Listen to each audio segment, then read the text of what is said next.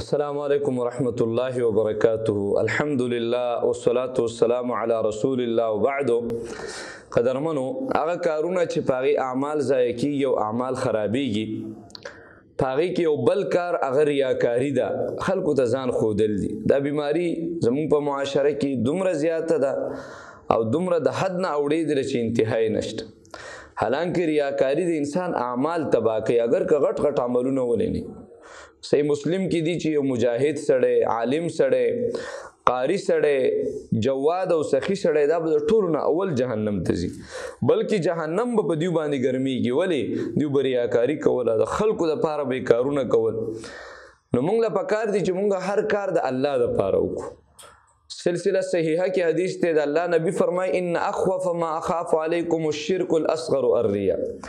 زه په تاسو باندې رټولو نه زیات چې یریګم نو د شرک اصغر د ریا نه یریګم چې تاسو کې به ځان خودلو د بیماری راشي صحابه کرام وای داسې دي یو روایت کې دي د الله نبی وته وی او سړی مونږ کوي او چرته څوک مشر ویني او مونږ وګد کی او استاد ویني چې دی به ما ته وګوري او یو روایت د صحیحه کې دي چې د قیامت په ورځ به الله دک ریاکار او خلکو ته وایي چې لاړ شي د چا د پاره چې تاسو ریاکاری کړی د داغې نه وګواړی مال مرزي ابو امامه وی موزل د نبی صلی الله علیه وسلم نه تاسو شو چې د الله نبی او سړی jihad لذي او هغه د الله رضا په ذهن کې وي او خپل شهرت په ذهن کې وي نو دته بس ملاويږي نبی سلام فرمایله شی اس بوتم نه ملاوي او بیا د الله نبی فرمایل ان الله يتقبل الله رب العالمین قبلې په اعمالو کې ما کان له خالص کم عمل چې د الله د پاره خالص وي بس چې ریاکاری په کې معمولی مراشي هغه الله نه قبلې هغه الله پرېږدي بیا